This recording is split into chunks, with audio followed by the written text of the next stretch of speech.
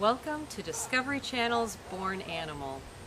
My name is Irena Schulz and I will be your host for Snowball and Friends.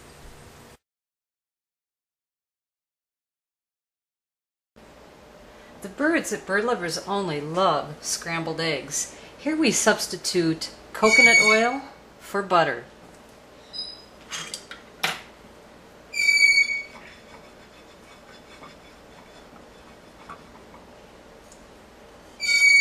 Stuff. And here we let the eggs cool down just enough so that they don't burn their crop when we go to feed them. Go ahead. This is Stuff, a blue and gold macaw whose first priority is food. And Ben, a Congo African gray who has been lame since birth. Most birds just eat their eggs, while a few will dance for their meal. Yeah, good stuff.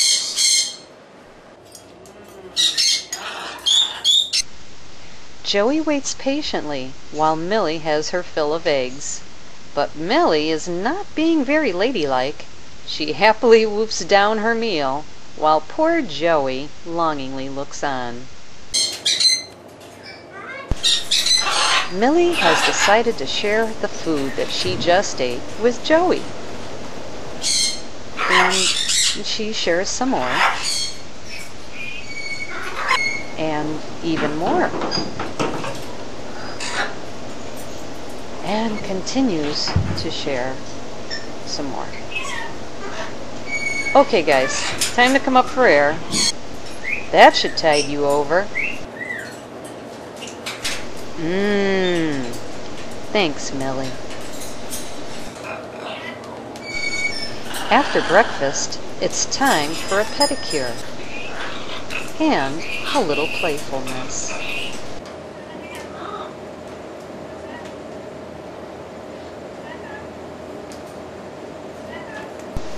Birds enjoy preening each other. If you take a close look, you will see pin feathers. These will emerge encased in a sheath called a quill. The quill is whitish in color and has a clear plastic-like appearance. Birds will remove the quills from the pin feathers and pairs will preen each other to remove the old sheaths. Singly kept birds will benefit from having their owners preen the new feathers in the places that they can't reach, such as their head and neck area. New blood feathers are quite sensitive, and your bird will surely let you know if you accidentally try to preen one of them. While birds are molting, they need extra moisture to prevent the feather sheath from becoming dry and hard. If this happens, then the feather will be prevented from opening. If this occurs with more than one feather during a molt, then a vitamin or mineral deficiency may be present, so a vet check is highly recommended. The green-winged macaw has a very powerful beak, which can generate a pressure of 2,000 psi and can snap a broomstick in half.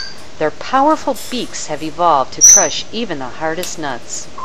One day when Joey was on my arm, he began playing with the wedding band around my finger.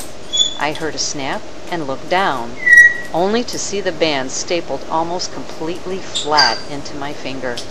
My husband used pliers to get the wedding band off. Needless to say, I no longer wear any rings. Millie works at chiseling down a part of a wood toy that she just snapped in half.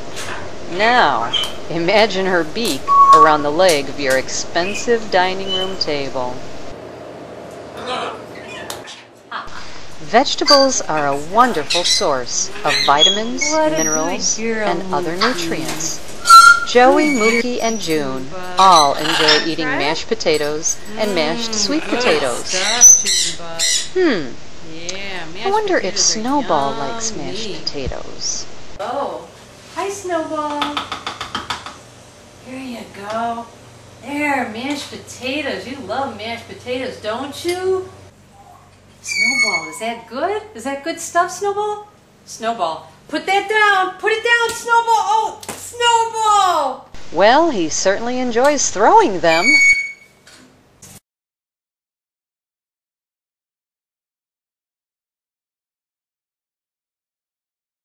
Thank you for tuning in to Discovery Channel's Born Animal. please come again for another informative and fun-filled episode of Snowball and Friends.